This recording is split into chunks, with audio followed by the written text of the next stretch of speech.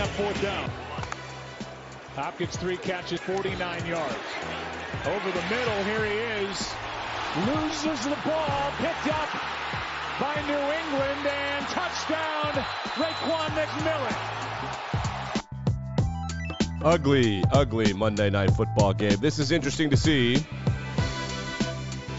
Your daily sports podcast, news, narratives, takes, gambling. I'm Nick, and um, you can watch this show on Spotify or YouTube. There is no need to make fun of my receding hairline. I know it's there. I'm losing the battle every day, and as per usual for a white man, um, it's truly the first time in my life I felt like a victim, which is both funny, sad, and reflective. Is that too complimentary for myself? Let's get into Monday Night Football. What a weird and shitty game is one of those games. This is the first time all year that I've really, really, really, really had to force myself to watch and care about a football game. Um, normally, one would bet on it to do that. I live in North Carolina, where doing that is not legal except for a, a Native American reservation. So I had to, it, it was work last night, and I ended up watching the whole game because it started to turn into a super duper shit show which kind of made it a little easier.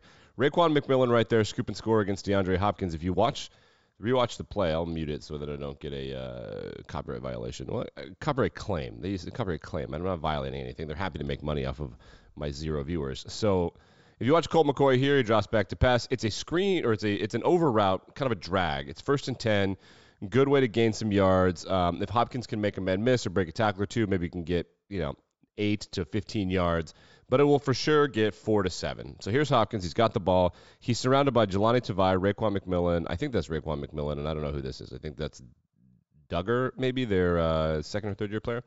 So here's Hopkins. Look at look at him. Look at him just flail that ball around. Just like flailing the ball. Like he just he's just got it in his hand. He's just like the way I carry like a bath towel. And then like he doesn't even no one touches it. He's got it so loosely with one hand that just tackling him jars it loose. That made the game 20 to 13. It was 13 all at that point with five minutes left in the third quarter, and you're looking at Kliff Kingsbury, and everyone's like, this guy can't coach. And. Troy Aikman and Joe Buck are shitting on him, of course, and you have to understand that the, the big story in this game happened the third play when Kyler Murray was scrambling. It looked like he planted on his leg, and his leg buckled. It looked very much like some sort of knee thing happened. I'm sure we'll find out today. Um, I'm sure they're going to wait for evaluation or whatever the coaches say, but it did not look good uh, for Kyler. So that was the story. Then everyone's shitting on Kliff Kingsbury and DeAndre Hopkins, the best player on the team, probably the best player on the team, pound for pound, if not Kyler Murray, does that. So the Cardinals are a mess. They need a high draft pick. They need something. They need an offensive lineman. They need they, they need some help. Um, and look, if people feel like Kliff Kingsbury is going to be fired at the end of this year, he just got extended for a bunch of money, which is – hilarious. They extended the general manager and the head coach and the quarterback in the last two years. They're stuck with the quarterback because getting out of that contract is tough, and he's going to make significantly two or three times as much money as the GM and the coach. He probably makes significantly more money than the GM and coach combined. Ah, coffee is so good, uh, and that that makes sense. Quarterback should franchise quarterback should. It was appropriate last night that. Um, Kliff Kingsbury's on the sideline because it draws attention to something that's a much larger issue in sports. Kliff Kingsbury was the quarterback for Mike Leach at uh, Texas Tech, and this is from Albert Breer. Kingsbury was Leach's first quarterback at Texas Tech. It was he was the first to break all the records and help Leach create an incredible. Well, Breer says indelible. I would say incredible. He really changed the game uh, in college football. Now he's at Mississippi State where he has a defense, but the air raid doesn't work. You know, but it, he's really enjoyable. A lot of people last night on TikTok posting uh, clips of Leach from his infamous press conferences, rants on weddings, rants on student loans, his cameo in Friday Night Lights. You you gotta find your inner pirate. You're swinging your sword like this. You gotta swing your sword like this. Okay. Um, so everybody uh, kind of thinking of Mike Leach in this moment uh, including Mac Jones, who said this after the game. Mac was at Alabama when Leach was at Mississippi State. Opening statement. Just want to send prayers to Coach Leach and his family. Um, you know, he offered me a scholarship at Washington State, and um, didn't ever meet him personally. I mean, I did, but it was on the phone. So just prayers to his family with everything.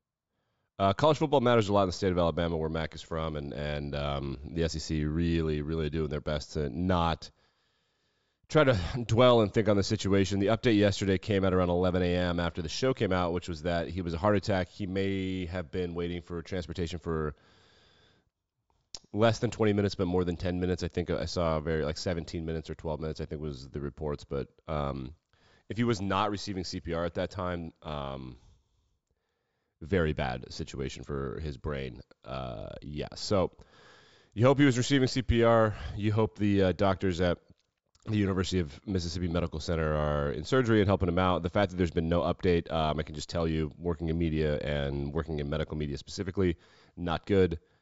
Um, normally at this point in time, there would have been an update like he's in good spirits or something or, or whatever, but it, the updates make me think that he's not really conscious or he's not um, sound mind or body, which could be he could be in surgery and they could be working on him and they could be making things happen. But the fact that there's been nothing like that and that they're keeping it super quiet is usually what they do when the family has to come in to kind of have difficult conversations. So that's if you're going to assume the worst, that's the worst of how this is being handled. Um, anytime something is this quiet, it's usually not a good thing. Uh, to be frank with you, they they would use things like um, scare. Like they would use the thing like Mike Leach had a scare or something. So, uh, yeah, we'll be thinking about that, you know, essentially all day. So keep you updated or whatever. Controversial Wednesday is tomorrow. As you know, that's not going to be part of Controversial Wednesday. That's just sad. So, moving along, Sports Business Journal reported that the preposterously huge ratings that the NFL enjoyed on Thanksgiving may have actually been bigger than they were reported according to a study, um, the triple header may have actually been bigger than we thought it was. So the survey found that three the three that the three games should have averaged 44 million viewers, which would be well above the TV streaming numbers reported by the two parties last month, which was 33.6 million. 44 million is pretty big. 10% of the country doing anything at the same time is pretty big. Um, and that's estimates on family. Jesus Christ, is that how fat my cheeks are right now? I'm so pissed. I can't. I hate the holidays, man. Well, anyway, that's a lot of viewers. that's a lot of viewers. There's nothing like doing this and then like looking up to the production screen I have and seeing like, wow. So in total, that's the average for the different games. The NFL and Nielsen conducted a minor study around the Rams Bengals matchup that put the audience at more than 208 million viewers. That was for the Super Super Bowl, um, but Nielsen reported 110 million viewers for the game. So these are just disparities for how ratings are reported but it looks like it's it's possible that the NFL may have it, it's essentially never been more popular than it is right now. Other big news in sports yesterday. Skip Bayless made a uh, debate with Shannon Sharpe personal, and Shannon Sharpe yelled at him and took his glasses off, uh, and then Skip kind of dummied him, and Skip looks real bad. Um, this is what they want us to do is view this. So like, let's listen to Shannon Sharpe scream at Skip Bayless because Skip Bayless is like, "You're jealous. You've never had a career like Tom Brady." And Shannon Sharpe was like, "What do you want me to say?" He's better than me. Oh, this is tough. Tough look for Skip. Shannon handled it. A lot of people on the internet were like, "I'd have punched him in the face." I got to see what you do. You take personal shots. No, I don't, I don't take personal shots. Time you out, started time it. Time out. You would take a personal shot at me. I didn't so, take oh, a personal shot at you. Wait a minute. What are you talking about? You would take a personal. Put your glasses You see the glasses off? This is back on. Can I Skip Skip knows what he's doing. This is how he makes his money. finish? You're willing to take a personal shot at me. This All he has to do to get him back was like, you don't sleep in the same bed as your wife so you can watch sports, and you take it that seriously, like you're a professional athlete, but you're not. Skip's biography came out, and um, a couple years ago. Man, that's quite the read. I don't know. I only listen to people talk about it because I would never do that. T.Y. Hilton, the uh, he kind of used to be a star, nah, best superstar-ish wide receiver. He would have been a superstar if he'd have played in a market outside of Indianapolis. Latter, latter, latter, latter parts of Peyton Manning's career. I think that he might have been a rookie or second year player with Peyton Manning, but he was really good in the Andrew Luck years. Uh, T.Y. Hilton, Andrew Luck was a great connection. Hilton's been a free agent this whole time. I think he had some injuries. He also didn't just like want to go through training camp or whatever. He is who the Cowboys are going to sign to shore up their receiving corps instead of OBJ. It's becoming increasingly clear that OBJ is not in a position is not in a position to play football anytime soon. Which I think is something we all suspected. He got hurt in the literal in the literal Super Bowl. So it makes total sense that he wouldn't be ready to play. No one could reasonably expect him to be ready to play. Andrew Benintendi, I believe, an outfielder. Uh, we got baseball free agency going on right now. Justin Verler, Verlander signs with the Mets. Trey Turner signs with the Phillies, and it looks as if Andrew Benintendi, the outfielder, is going to sign with the Yankees, but we shall see. We're going to keep baseball on the back burner for now for a little while until all the dust settles. Remember, years ago, Bryce Harper didn't sign until like a day before camp started. So we're going to let all this happen. Uh, a lot of moving parts to baseball free agency and baseball signing. So we're just going to keep that on the back burner until facts are facts. Um, like Trey Turner, that's a fact. Justin Verlander, that's a fact. Those are essentially done deals. So we'll, we'll report that. I wanted to uh, get out of here with a murder, not a real murder, an internet murder. So uh, this is Twitter after the game. Reporters asking Miles Sanders, "What means more to you, yards or touchdowns?" Miles Sanders, Super Bowl.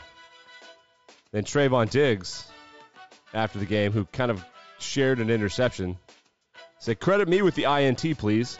I had it first, LOL, or we can split it 50-50." Cowboys and Eagles heating up. Trevon Diggs wants credit for the interception. Miles Sanders wants a ring.